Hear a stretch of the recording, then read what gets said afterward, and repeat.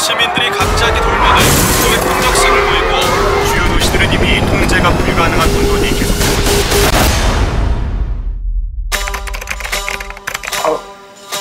아야이 뭐? TV가 왜?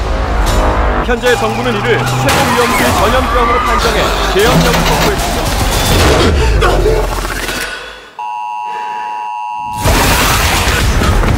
집안에서 숨어 오랜 기간을 버틸 수 있는 준비를 하십시오. 이제 식량이랑 물도 다 떨어져 갑니다. 그래도 밖에는 절대 못 나가요. 차라리 굶어 죽지.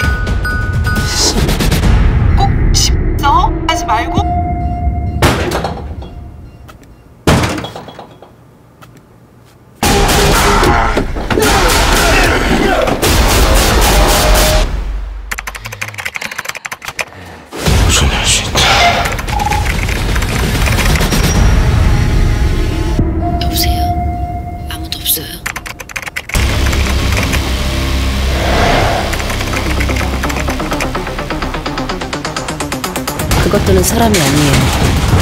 적어도 더 이상.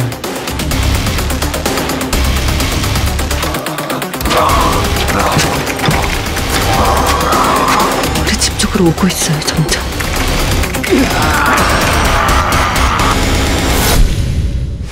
팔층밖에 없어. 아무도 없는 건. 우리 진짜 살 수 있을까요?